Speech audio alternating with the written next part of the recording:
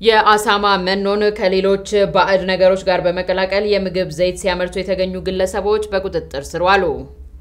ግለሰቦቹ በቁጥጥር ስር ያሉት የኢትዮጵያ ምግብና መድኃኒት ባለስልጣን የሰሜን ምዕራብ ቅርንጫፍ ጽሕፈት ቤት ከአማራ ጤና ቢሮና ከደቡብ ጎንደር ዞን መስተዳደር ጋር በመሆን በማህበረሰቡ ጥቆማ መሰረት በተደረገው ክትትልና ፍተሻ ነው።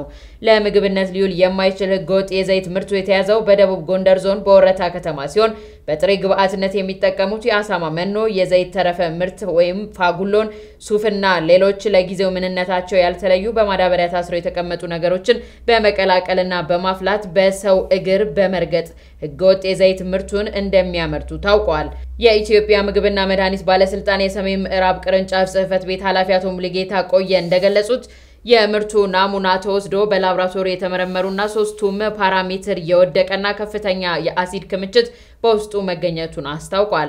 አክለውም ምርቱ በምንም መመዘኛ ለምግብነት ሊውል የማይችል ለተለያዩ በሽታዎች የሚያጋልጥ እንደሆነ ህዝባችን እንዲገነዘብልን እንፈልጋለን ሲሉም ገልጸዋል።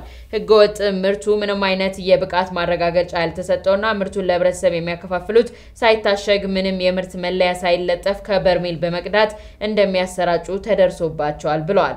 በሀገሪቱ የተከሰተውን የምግብ ምርቶች ዋጋ መናርን ተከትሎ ጥራትና ደህንነታቸው ያልተጠበቁ ምርቶች የጤና ጉዳት እንዳያደርሱ ህብረተሰቡ በየአካባቢውና በግብይት ወቅት ተገቢው ጥንቃቄ እንዲያደርግም አስገንዝበዋል።